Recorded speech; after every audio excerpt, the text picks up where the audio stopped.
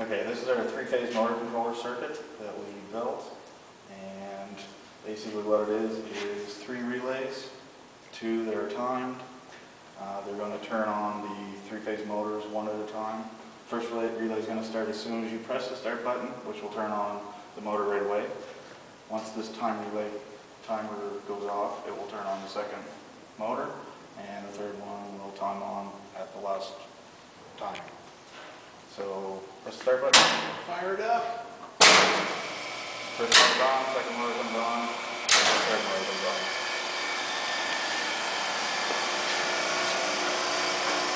This transformer is basically to control the uh, start-stop control circuit. Uh, 120 is coming out of this side, brought in from 208 off of the three-phase on this side. So this 120 controls this portion as well as the relays down here. And the three-phase power just simply comes into each of the three thermal overloads and goes down into the motors. So this is electronic engineering technician, 2011 grads.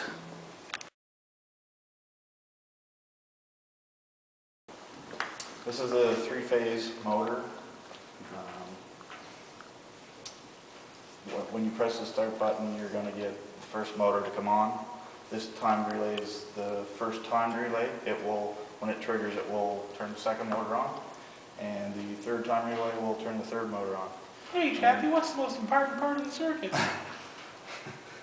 The, uh, I don't know, the three-phase inputs.